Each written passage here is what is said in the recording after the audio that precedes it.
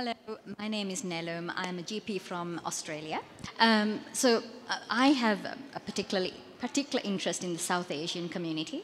Um, and, um, you know, this group of people are, are very high risk and um, at, they are iller at lower BMIs. And, um, you know, they tend to fall into the TOFI category, um, thin on the outside and fat on the inside. So my question really is to Mariela and Cynthia, have you had much experience treating this group of people, particularly with their cultural conditioning? Uh, yes, actually. I've had a lot of experience treating TOFI, and uh, it's, uh, it responds beautifully to keto, low carb, uh, because essentially, you know, what TOFI, I always think of it as you just don't have enough fat cells subcutaneous to, to, to become a, an insulin sensitive obese person. So you immediately start doing ectopic fat, and that is very problematic. But, you know, it works. It works great. Especially fatty liver. I see that really melting away very, very fast. Um, I 100% agree. I would also indicate these are the types of patients that do particularly well with intermittent fasting in particular. Um, they do beautifully well along with the macronutrient changes. Thank you. Yep, I, I agree. never, uh, never argue with two women. Yeah, I'll just I'll just add because we, we talked about the metabolic inside being problematic, and yeah, low carb restriction definitely seems to improve that in many ways. But the thin part, I think you got to add resistance training and enough protein. I think that's a that's a big important part of it because I mean we have just as much of an, an obesity epidemic. We have a I think a frailty epidemic. I think that's a real problem. So you have to you have to address both sides of the coin. Thank you. My question uh, is primarily for Cynthia, but obviously for all of you guys. Um, with the android versus gynoid phenotype, what do you think is primarily causing, I mean, beyond genetics, what would primarily cause one person to gather more fat in the viscera and liver versus store it subcutaneously? Are we thinking it's more fructose consumption versus, you know, maybe starches, the reason somebody else would, would store subcutaneously?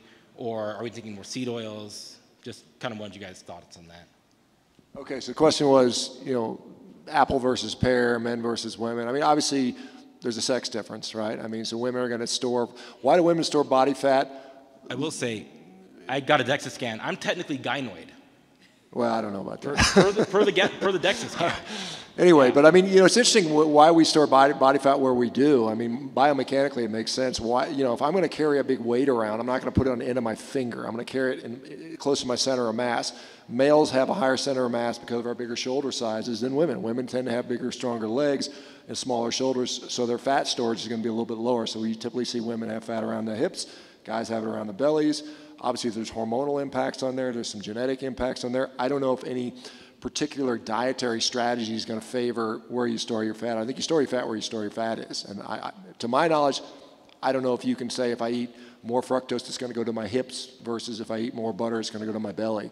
I mean, there has been some analysis, actually, it's interesting that they look at, you know, the different components of fat, like saturated fat versus unsaturated fat and where it stores in the body. You know, maybe diet has an impact on that, but I, I, it's not something I've looked in too significantly. I mean, I, I, you know, either you're either you got too much fat or you don't. But belly fat, particularly visceral fat, we know is much worse, and that's why men have higher rates of heart disease, and women can have a little more body fat and, and, and do fine. So maybe there's an advantage. But as a male, I don't want to be particularly estrogenized. I think that's probably problematic for other reasons. But anyway, I don't know, Peter, if you have any insight. Yeah, look, I think it's it's, it's primarily hormonal, um, but. Uh, one of the interesting things is I, I had a, a, close friend actually who who was, uh, well, close to morbidly obese, but he had a combination really of, of both peripheral and, and, and visceral fat. And uh, got him on a, on a much better diet. And he lost all his peripheral fat, but didn't lose any of his, uh, his visceral fat. You know, and I, I can't really explain why preferentially you lose one uh, than the other. Obviously, we know, you know visceral fat is, is so important um, because uh, basically it, it, it contributes to inflammation. I mean, uh, something I didn't realize for many years is that the adipocytes in visceral fat secrete inflammatory cytokines. So, you know, you've got the, uh, the poor diet that makes you fat in the first place, which is inflammatory, and then on top of that, you've got the, uh, the fat cells in- increasing the, uh, the amount of inflammation. So you've got a double whammy in, uh, in visceral fat. But uh, I, yeah, I can't really give you a good explanation as to, uh, to why one person develops it in one place and the other, other than the, the hormonal, uh, male female hormonal differences. I would just add that in my clinical experience, I would say inflammatory seed oils and high fructose corn syrup. And we have Dr. Rick Johnson. Is Dr. Rick the, he might not. Yes, Dr. Rick Johnson is the expert in fructose. So, you know, if you understand the physiology of how fructose is absorbed in the body and how it goes directly to the liver, that can help contribute to the visceral fat. Dr. Rick, you, is that a thumbs up? Yep, okay. Anything you wanted to add? Yeah, no, that's, I think that's. Amazing. Let's go back over here. Uh, Following Dr. Westman's rule, my name's Cassie Jinks. I'm from Tucson, Arizona. And my question's about the insulin sensitive obesity patients. I, I love that you talked about that because I'm seeing more and more of these patients with really high BMIs and low trigs and high HDL. And I'm just try to wrap my head around what that physiology is. Um, but so my question is, do you, would you approach their weight loss treatment in a different way than someone who is obese and diabetic and has high insulin levels, if high insulin's not the problem, is it still really about restricting carbs, or do we need to think about this in a different way? Because maybe it's it's a different physiology driving the problem. You want to? I can answer that too. Okay, I'll start. Um, my approach to patients like that, um, that are the insulin-sensitive obese, is that I do tend to pay more attention to calories, and I do use more fasting um, because it, it, they don't respond as fast as the insulin, you know, the insulin-resistant patient. So that, that, that's something I learned from Ivor and Jeff in their book, and it actually turns out to be work out pretty well. Um, I would agree, and then I would also really lean into the lifestyle piece, you know, the sleep, the stress. I mean, all the underlying things that can exacerbate that. And depending on the age of the patient, really looking at sex hormones as a contributor because I do find in, unfortunately, women north of 40, when they're in perimenopause and menopause, it just gets more challenging. And so, really looking comprehensively at hormones and, in addition to the lifestyle piece is very helpful. Yeah, I agree, and, I'd particularly emphasise stress. You know, I think uh, stress is such an, and it was mentioned in, in, the talks, it's such an underrated issue in, uh, in, in sort of glucose metabolism and, and hormonal metabolism. And uh, you know, you can have, be on the best diet in the world, but if, uh, if you're st- stressed to the hilt, then, uh, you know, you're not going to win. Yeah, I mean, I honestly don't often find that I have that information in front of me. Mean, it's so rare that someone's checking insulin that it's, you know, I kind of have a more of a one size fits all approach to obesity. And I think the first thing is, you know, you didn't get obese eating vegetables, you didn't get obese eating steaks, most likely. It's, it's the processed garbage. And you, you just got to address that basically addictive nature. And I just tell people, you know, load up. I tell you, people ask me, how much meat do you eat? I say, eat enough so you don't want a damn cupcake. And I just, I just, that, that's my approach, and it works. And it may take two or, two or three months, and they may not lose any weight, but once they kind of, they get that freedom from being addicted to this stuff, and I think you really have to address it because food addiction, it's a tough one because you don't have to, to exist in society, you don't have to do cocaine, you don't have to do alcohol, you don't have to smoke cigarettes but you sure as hell have to eat. And so they have to deal with that every, you know, every day, multiple times a day. And so I mean, like I said, it'd be nice to know, and maybe there are some differences in there, but I rarely have that in front of me to know the answer.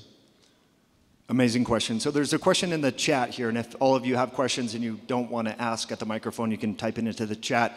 One was about uh, stevia, xylitol, monk fruit. So non-nutritive sweeteners, concerns, opinions, perspectives from all you all.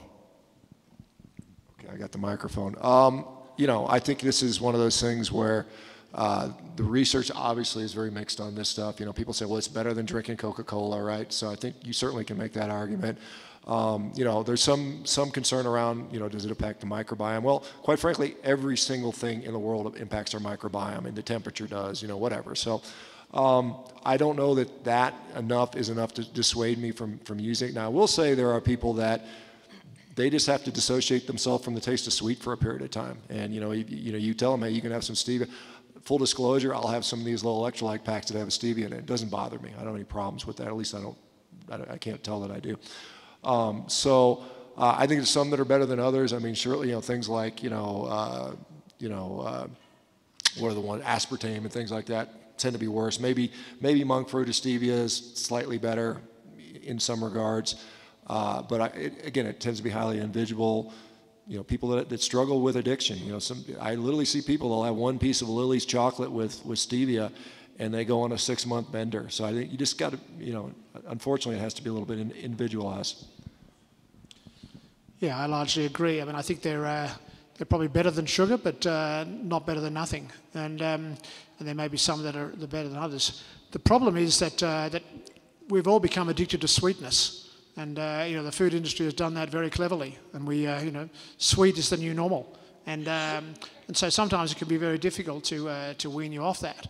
But um, I think you know if you keep using the artificial sweeteners, you're not going to get rid of that addiction to sweetness. That, uh, that is really important, I think, that uh, as part of the whole, uh, the whole program. Um, it's interesting. There was a non-nutritive sweetener study that was done in the fall, and it was comparing sucralose, aspartame, saccharin, and I don't know where anyone's still using that, and stevia. And it was looking the impact um, on the gut microbiome in mice over a 30-day, 28-day period of time. And what was interesting is that oral glucose tolerance tests um, were skewed and not in the right direction. And so I, I, always encourage my patients to really examine their relationship with sugar in, in any form. I'm a complete realist, and I do think that stevia and monk fruit are a, little, a bit more benign. I find a lot of people don't tolerate xylitol. They can find it very bloating and gaseous. Uh, but really understand like these are things we should be consuming sparingly. Um, and obviously, if you're not insulin sensitive, um, they really need to be eliminated from the diet, at least for a period of time. Yeah, I totally agree with you guys. I think the main issue for me is that people cannot really complain. I don't want to generalize completely, but I, I find that I have a lot more success when people are able to get off the, the sweetness addiction. So I really prefer to go without any artificial sweeteners. I prefer you even have a tiny bit of sugar rather than have uh, the, the full explosion of sugar in your mouth with artificial sweeteners. I mean, you have patients that are doing, you know, the whole thing with Diet Coke, and they don't see they're not getting better and then you get the diet coke off and, and sometimes sometimes you're surprised how much of a difference it makes but other times it doesn't make that much of a difference so it's kind of a tool that you can play with and let's not forget what we learned yesterday about sorbitol how sorbitol is actually making us sick so you know lots of things that we're still finding out I think excellent perspectives, and I'll just offer my opinion. I think from a biologic perspective, the non nutritive sweeteners are relatively benign. I think the complication can be when you're having cookies, ice cream, treats that have non nutritive sweeteners as the sweetener. The perception is that this is like a free ride. So if it had real sugar, you might only have a bite or two.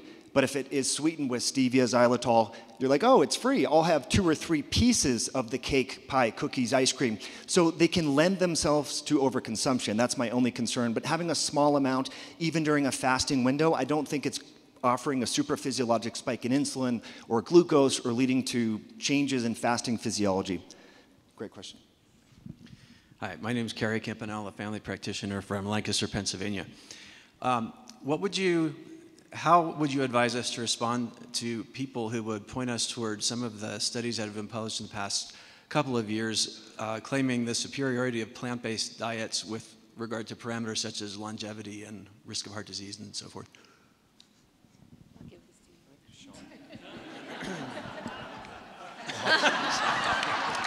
I have, I've, I've answered this question before in the past, believe me. So I think, you know, first of all, I just don't buy any of the any of the research on longevity. I just don't think we can know. I don't think the evidence is, is anywhere sufficiently rigorous enough to make those conclusions. So first of all, I, I just disregard the premise. Now, you know, when we talk about you know what is a comparator group? Well, if you're eating you know the garbage American diet and you cut most of that out and just eat carrots all day, yeah, you're going to lose some weight. Uh, but there are significant problems associated with a plant-based diet that are being shown more and more. There are studies on wound healing that shows they significantly have differences on wound healing. Uh, osteoporosis is a big problem for them. I mean, that's clearly being shown. Study after study has showed increased fracture rates. Uh, there are numerous studies showing mental health issues with vegetarian and vegan diets. You know, whether it's causal or you know a response to or, or mentally mentally. Uh, you know, people with mental health disorders choose to eat vegan. It's it's hard to say. So there's some definite limitations there. And I think the other thing is, while people, you know, they'll, they'll, point to the vegan bodybuilders and people that take the protein supplements can demonstrate that, the majority of people tend to struggle with protein. I know it's, I know it's, it's considered a, a myth among the vegan community, but you, we, we consistently see people with vegan diets, and that's why they have fractures because their, their protein quality is not good. So I think those are serious, serious concerns. I mean, if somebody's ethically bound to it, that's a tough discussion because you know you can point, you can take them to a, a field and say, look at all these dead bunny rabbits and mice, and this is this is from eating you know, strawberries or whatever, and, and, and, maybe that'll wake them up. But if it's just a health argument, it's a lot easier to, to, to show them literature that, um, at the very least, a, a non-junk food, non-processed food omnivorous diet is going to be far superior to the vegan diet. You know, maybe carnivore may be a stretch for them, but you know, I, have seen, I just see a lot of vegan failures that go carnivore, and it, it, they, they almost have to do that to, to recover themselves. So, yeah, I'll let somebody else talk.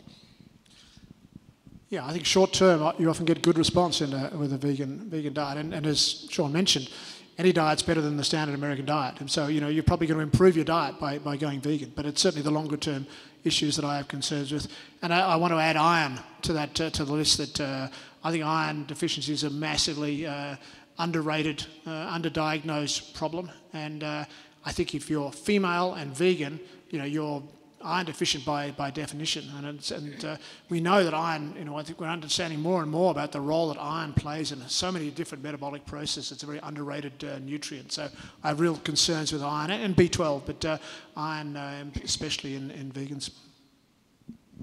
I echo everything else that my colleagues have said, but I would also say my concerns about these predominantly plant based or plant focused diets is that the macro, macronutrient ratio when you're looking at a piece of steak versus six cups of quinoa to get the equivalent amount of protein, most of our patients really need to be eating high, higher amounts of animal-based protein, less carbohydrate. And so I always go back to, does this make realistic sense? You know, beans and legumes, yes, I mean, intrinsically they can be healthy depending on the individual, but you can't make the argument to me that animal-based protein is, is not going to be a superior option. And Dr. Gabrielle Lyon, who you all will see tomorrow, will talk more about this. That's good. Just recently, I found out that um, protein eating has a big impact, or can have a big impact in the levels of uric acid in the blood. And that, at the same time, may have a huge impact on heart disease. And so I don't hear almost anybody in the, in the protein-focused community talking about this issue with the uric acid. And I don't know if you see it, but I see it. And I'm wondering how to deal with that, because I don't want to be, you know, having high levels of uric acid. It doesn't sound like it's a good thing. Well, I don't think anybody eats protein by themselves. So I think it's, I, I, I, I, would imagine that, and we have the expert in uric acid here, so uh, I would imagine that the context is, is what's important. In an insulin resistant context, then you're probably going to be making more uric acid. I, but I, I, what do you think? Am I butchering this, Rick? yeah, no, I do study uric acid a lot, so. Uh, you know, um, uric acid, besides increasing the risk for gout, uh, in people who have very high uric acid levels, it's been found in plaque.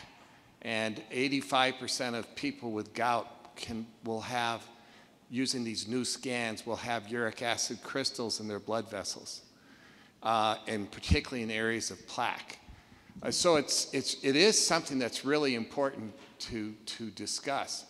But if you're on a, for example, if you're on a carnivore diet and you're on a, uh, which is basically a low carb diet, um, you, you, know, you're not going to be developing, uh, you know, the uric acid is driving inflammation, but sort of uh, one of the ways it works is to, is to uh, activate the fructose pathway and activate and stimulate fructose production. And so from glucose, and so if you're on a low carb diet, you don't actually have that uh, you know, that, that bad aspect of uric acid isn't there. But the question of whether or not it can still crystallize in the blood vessels is a, is a good one. Um, today we heard that a low carb diet, um, even with the high cholesterol, is not being associated with, with plaque, and, there's, uh, and a lot of people on low carb diets have high uric acid. So it's not very clear to me uh, whether or not a high uric acid is going to be a problem in people with a carnivore diet or a low carb diet. It looks like it may not be a problem, but in people who have metabolic syndrome, it really is a problem. So I, I'm not sure. I'd be interested in what you guys are seeing. Did that answer your question? Well, I would like to say that I'm thinking of a person that is metabolically healthy, has been keto or low carb for a long time. The consumption of fructose is minimum. Um, and so that's kind of like a thing that shows up in, I don't know what to make of it because it doesn't fit the, the profile. Like no alcohol. So, uh, okay. So yeah, I, I, I, you know, obviously have a lot of experience with, with this. You know, my uric acid level is actually normal range, which is kind of interesting considering I eat gazillions of pounds of meat every year. But um, what I tend to see, and I think, I think again, I think it's like cholesterol. I think it can be a dependent variable. And I think when we look at like things like gout, which is what we commonly associate uh, high levels of uric acid with, you know, it depends on you know the inflammatory state, the metabolic health, temperature to some reason. Why do why do why do gout crystals deposit in our in our toes? Because they're colder. It's you know it's a simple you know chemistry dynamic. Um, and so I will see, you know, and for you guys that don't know, uric acid is actually an antioxidant. That's why we have it in our body in the first place. And so, I, again, I just think it's a dependent variable. And so I think you can have high, relatively higher levels of uric acid and not see any deleterious effect depending on what else is going on. And so I think that's you know, something that happens. And certainly, you know, when you're metabolically, like as a surgeon, when I used to operate on gout and I would do gouty tophi, which interestingly, when you cut their skin open, it looks like a big tube of toothpaste you squeeze out there. It's kind of cool. But, but, you know, when you, almost every single gout patient I had had components. Most of them were diabetics. I mean, most of them that I had to operate on that had that they had some cell level, and probably if I would have tested them, they were hyperinsulinemic or something like that. So I think it's again, I think it's a dependent variable. Thank you so much. Okay, there was a question from the live stream about reactive hypoglycemia, waking up in the middle of the night, uh, to, hungry and low, uh, low blood sugar levels. This person mentioned they have a CGM and they go to bed with a normal glucose level. They wake up at 2 in the morning and it's dropped 25 points. Can anyone comment on that? So did I understand correctly? Hypoglycemia in the middle of the night? Reactive. Reactive, yeah. So, you know, actually, if you look at um, our cortisol levels, the diurnal rhythm of, of, cortisol, we see that around two or three in the morning is when you have your lowest cortisol, and usually correlates with the lowest sugar of the day for diabetics. And then as cortisol rises, you start to see the, the, the increase.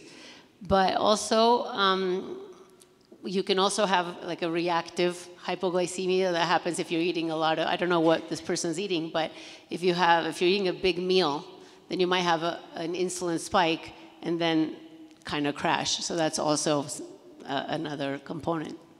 So we do see the lowest sugars in, in, in, in, all of us uh, around two or three in the morning. And that's why also most type 1 diabetics have their, their biggest crashes around that time. Hi, my name's Greg with Natural Life. We're out of Boulder, and my question is this: This is something that's very rarely addressed, but if you've all, do you guys all know the work of um, Pottenger's cats?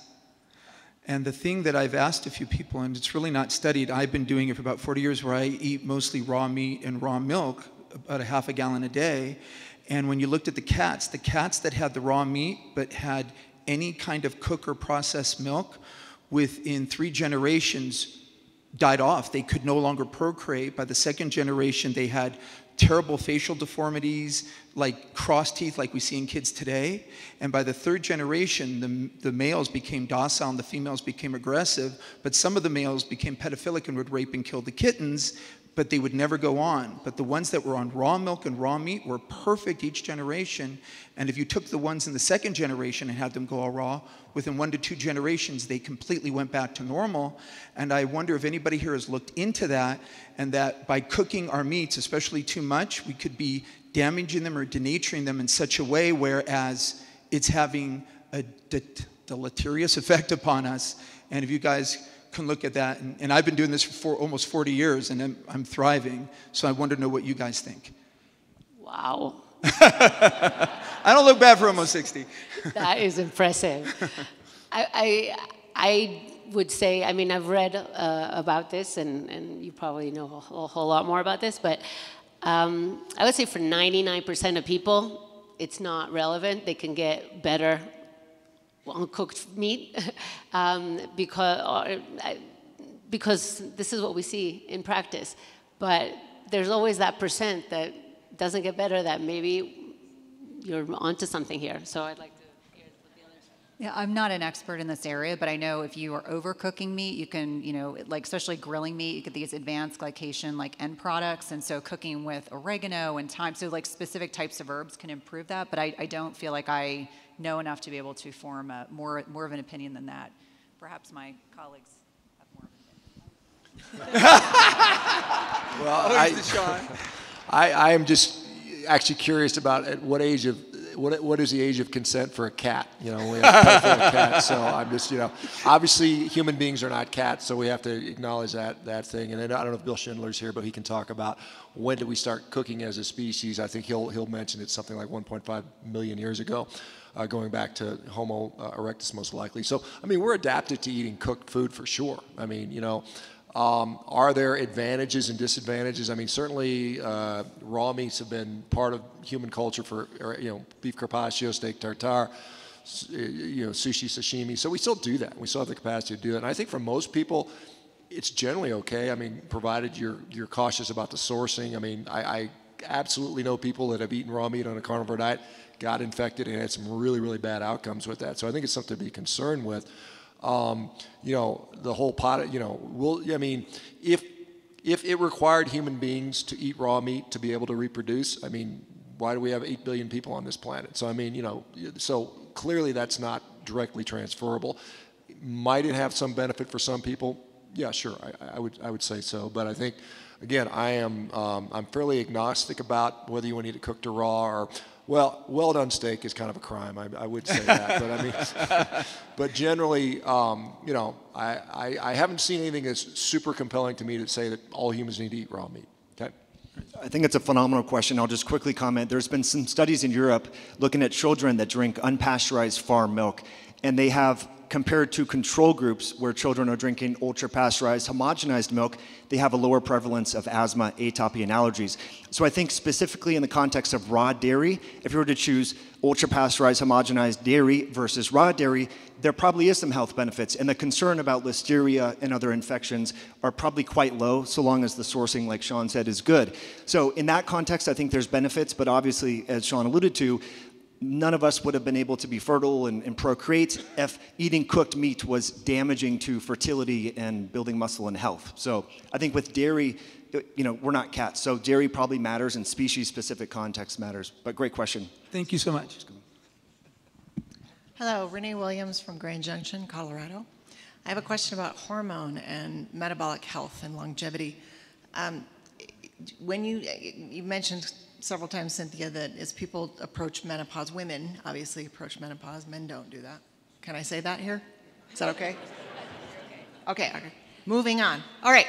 Um, as women approach menopause, estrogen is an important part, right, of, of brain health, of bone density, all those good things, and, and, and you're saying metabolic health. Is there a difference and a more protect, protective factor between the different forms of estrogen between estradiol, estrone, and estriol as compared with, with testosterone. It's like I opened up that can of worms during my talk. I have to accept it. um, I would say, you know, based on my clinical experience, I think estradiol is, is the predominant hormone that I think is most important to replace when women, are, if, if, if appropriate, in perimenopause, but definitely in menopause. Um, you know, the 12 years without a menstrual cycle um, without getting opening up another can of worms, I won't talk about the Women's Health Initiative and, and, why we have a whole generation of clinicians fearful to prescribe hormones, patients are fearful to take it. Um, but I do feel like estradiol in particular is the one that is most beneficial for insulin sensitivity and the one that I feel like my patients get the best outcomes from when it is actually repleted. Testosterone, I feel like you have to actually get the estrogen levels, uh, the receptors optimized before you can add it. And that can be very beneficial for not just bone, brain, muscle health, but also uh, body composition, which I know for a lot of women in middle age is a source of endless frustration. I'll just quickly comment, and that's a phenomenal question. I think DHEA is underrecognized in peri and postmenopause. Uh, a lot of folks don't test that. They look towards testosterone, estrogen, and progesterone, but DHEA for postmenopausal women is very important as well. So I would definitely look at DHEA sulfate and consider replacement. Actually, we'll go this side. Hi, my name is uh, Jan from Sweden. I'm uh, an anecdote, n equals one, you could say. I have a type 2 question. Uh, I'm a type 2 reversed with influence from all these rock stars. Um, thank you. And my question is, I'm at no meds at all. I've been suggested three meds. But in the longevity sphere, there's a lot of talk about metformin having uh, uh, benefits. Will I live longer with a little bit of metformin? What was the question? Should we recommend metformin? I love metformin. I mean, it's uh, in diabetics when you don't, you know, it's it's the it's a drug that we know fairly well. We've been using it for hundred years. Um, it it seems to improve. Um, there is some interesting data. Um, it's also very interesting in cancer. Um, I, I'm not against it. Okay, I'm not, I'm not against it, and sometimes I like to uh, prescribe it if there's like a little bit of insulin resistance and the person is not interested in the diet, or I think I think it's a it's a good tool that we have, and um, I, I, myself actually did some uh, looked at the data of like thousands of patients, uh, um, cancer patients, and, and definitely there I think. Uh, it looks interesting, although there, there are still controversial papers that con contradict each other. Um, and I think that there is data in, in people who exercise a great deal, um, then maybe it's not a good idea um, to use metformin because of its mechanism of action. But um, I, i think uh, metformin is a, is a tool that can be used, and it's cheap. And it causes a lot of side effects, so that's the bummer with it. But they're, sorry, but they're, but they're not long-term effects. They're just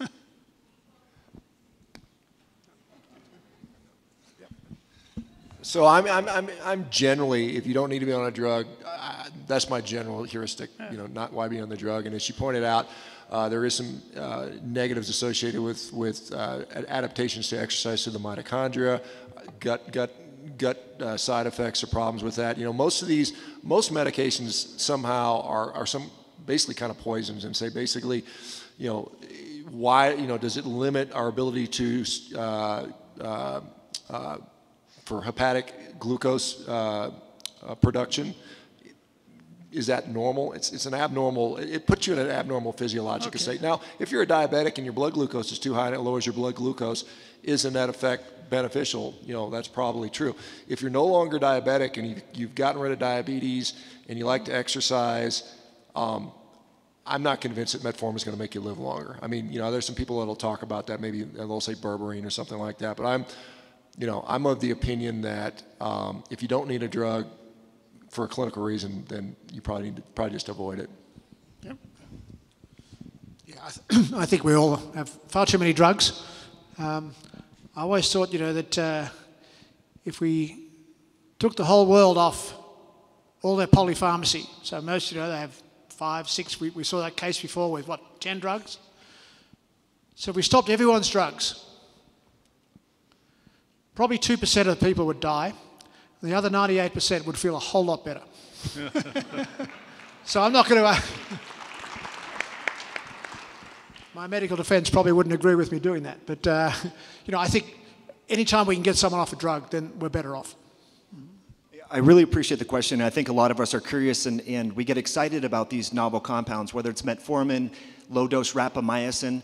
But I think all of us shouldn't even consider that until we're lifting weights three to four days per week, walking after meals, prioritizing exercise, and then maybe microdosing these things periodically and not doing them long term but focusing on exercise. You wanted, you mentioned, will I live longer? Yeah. A new study found that people who preserve lean muscle mass are less likely over a five-year period of time to have a heart attack. So I think the, the best thing that we can do is move our bodies and, and work on preserving lean mass throughout life. Grip strength. Shawn Baker has shared a lot of studies over the years about independent correlations with grip strength and all-cause mortality. So I think we should focus more on that, getting stronger, getting more physically fit, and not worrying about the potential or the, the potential benefits of these compounds that, as you just heard, do have side effects and complications, depleting B vitamins and much more. But great question. Let's Thank go back you. over here. My name is Eric Westman, Duke University. I realize, thank you for your presentations. We have an amazing array of backgrounds and research and clinical experience. And so, with what I've read and, and what I do clinically and what I do personally, it may all be very different. So, I'm wondering uh, what you do, what your read of the literature is about measuring ketones. Should, do we have to do them? Is it good to do? Do you advocate that in your patient population, ketone measurement, or any, any in any form? And, and I just have to say, I don't. I, I don't measure. Oh, and then do you measure your own ketones? Are, are you measuring glucose and ketones? Because you know you're a practitioner. You, you've read all these papers, and we all have our own way of kind of uh, figuring out what we should do. And what often, often what we do is different than what we do in our patients. And anyway, so do you um, do carnivores get ketones, for example, and do you recommend them in your patients, and then do you measure them clinically? Um, what do I do? Very little. I mean, I've been eating this way for eight years, very low carb, um, probably ketogenic most of the time. When I check, I am in ketosis, but it's happened like just because I'm showing like a patient to check. I, it's it's individualized. This is, you know, as you know better than anybody, the the art of medicine. Some people want to check everything. Some people don't want to check anything. Um, they they want to be left alone. And they, my thing is that we shouldn't medicalize this so much. This is a diet, so it depends what you're treating it for. But I think, you know, this is a way of life. So I'm I'm not going to change what I eat really based on if, if I'm in ketosis or not, because also it's a point in time, right? So, and you know, I, I, I I think again, it needs to be individualized, and I don't think it's necessary.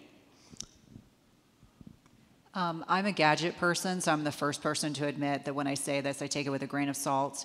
I think a lot of it is, I agree with you, bio-individuality, you know, what is your patient like? Sometimes it provokes anxiety to have more data. Some patients are dated nerds like I am, and I want to know all the things. I personally don't check ketones. I focus more on glucometers and CGMs. Um, and just helping people understand like the signs that will indicate they are in ketosis or they're you know becoming more fat adapted. And so I, I just find that I I can motivate my women with a CGM or, or, or glucometer if I need to, but I'm not typically checking ketones in my practice.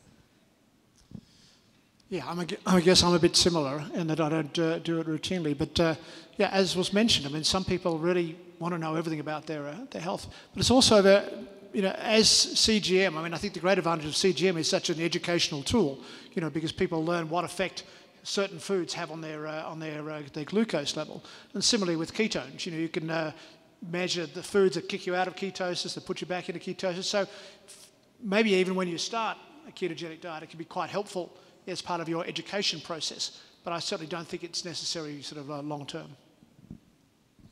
Yeah, first of all, Eric, by the way, thanks for what you've been doing over the years. I mean, you've been a uh, pioneer in this, and thank you for doing that.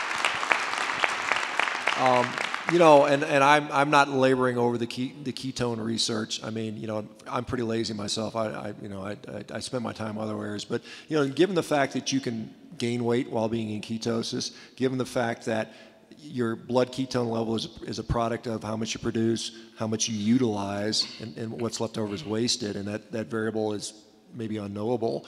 Uh, the times I've been checking for ketones, I, I produce a very small amount of ketones. I don't worry about it. Again, I got into that uh, problem as an athlete. You know, the, my goal was to throw things really far, and I was focusing on how much I could deadlift, which sort of correlated, but wasn't a direct thing. And so, I think outside of you know maybe epilepsy or maybe certain cancer treatments where you're really concerned about glucose ketone index and stuff like that, I think for most people it's probably you know, because it can be anxiety provoking. Because what if they're not in ketosis and they think they should be, and then like, oh my God, they're freaking out, and then they derive some stress response to that, and then, so I think you know, keep the goal the goal, and, and most of us' goal is not to have a ketone of two plus. It's to lose weight or feel better. So I find it to be you know, kind of interesting. And by the way, they're developing, as you may know, they're developing continuous ketone monitors. They're coming out now. And what are you going to do with that information? It's just, gonna, I mean, somebody's going to make some money on that probably, and we're all going to talk about it, and it's going to be, you know, it'll, it'll just be interesting and kind of funny to see. But I'm, I'm, I'm a pretty simple guy. I'm an orthopedic surgeon, and you know, they paid me to hit things with a hammer, and you know, I, I kind of make things really simple. Thank you. Hey, Andrew Anderson, and uh, so low carb for seven years, decided to jump on the wagon of carnivore after listening to you, Dr. Baker, and Ken Berry in November. Was on it for six weeks, felt great. Physical performance went through the roof, mental performance is better. I decided to have one big cheat day, uh, salad and uh, fruit. I lost 50 IQ points, which left me with two the next day. I felt like crap for three days, joint pain and everything else. Can you explain any of the mechanisms and why that happened? Yeah, all vegetables are poison. I, I agree. The, uh, no, I mean, I think you know you adapt, and I'm, you know, like I said, it's the the, the experience you share with, with feeling better and your cognitive performance and, and physical performance. I see it all the time, so I'm, I'm not, I, you know, I, I, that's consistent with what I see pretty typically. Um, I think you know uh, our gut, you know, our gut microbiome changes in a day, you know, or even in less, in, in a few hours, in fact. And so I think we developed uh, tolerances to things like when you go when when you're when you start out drinking alcohol, you know, one drink and you're feeling tipsy, you know. Yeah.